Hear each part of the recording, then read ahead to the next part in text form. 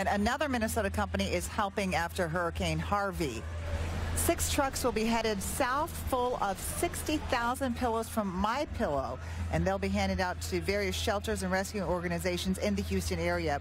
My Pillow founder Mike Lindell says that he and his employees just want to help any way they can. Everyone affected down there, I just want to get them help where they have a, a little bit of uh, a little bit of relief in all the stuff that's happened. Uh, you know, to get some good sleep and pill, you know, sleep's so important, and uh, a lot of them are in shelters right now and displaced, and uh, um, my pillow and myself, we go around down. All my employees, we just want to help.